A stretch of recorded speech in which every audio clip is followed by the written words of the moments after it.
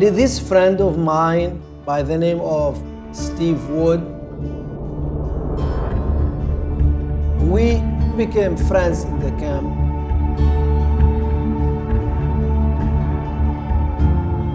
They just preached to you how bad these people were. Turn your back, they'll kill you if they can. I walk in and this little guy walks out with a smile on his face and uh, shakes my hand and is like, oh, it's very nice to meet you.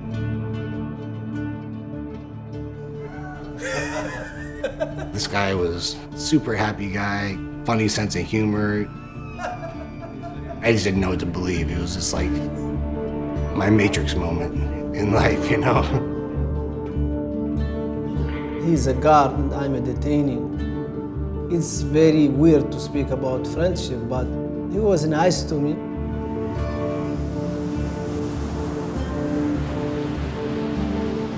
He didn't do anything wrong to me.